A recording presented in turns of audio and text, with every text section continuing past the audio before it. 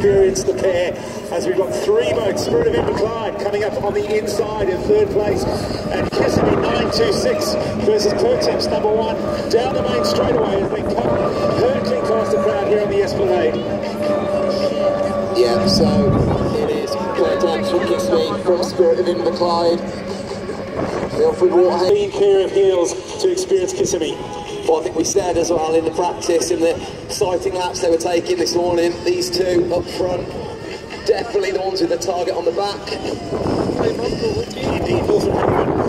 Running well. Conditions probably ease a little bit from what we saw during the Aquacross racing, and currently Pertemps in, in, in, in first place, second Kissimmee 926, third fantastic Spirit of Inverclyde, Dave and Ashley Finlayson in third place as they come round the top mark.